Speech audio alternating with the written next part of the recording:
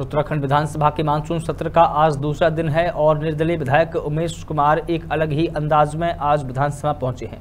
निर्दलीय विधायक उमेश कुमार ट्रैक्टर लेकर विधानसभा पहुँचे, इतना ही नहीं, खानपुर से निर्दलीय विधायक उमेश कुमार ट्रैक्टर पर सवार होकर सड़ी फ़सल लेकर विधानसभा पहुँचे।